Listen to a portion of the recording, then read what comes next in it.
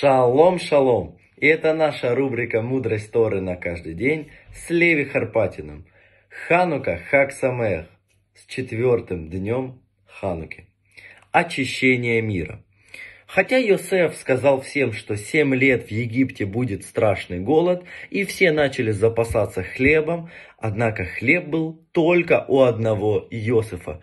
У египтян он просто сгнил. Абсолютно все запасы, которые были накоплены на протяжении семи лет, сгнили, и тогда у них ничего не оставалось делать, кроме того, как идти к Йосефу. Йосеф всегда был рад поделиться хлебом, но он всегда просил кое-что, а именно сделать обрезание. Египтянам это, мягко говоря, не нравилось, и они устроили бунт и пошли к фараону, к владыке Египта. На что фараон им ответил, делайте все, беспрекословно, что вам сказал Иосиф, и тогда все будет хорошо.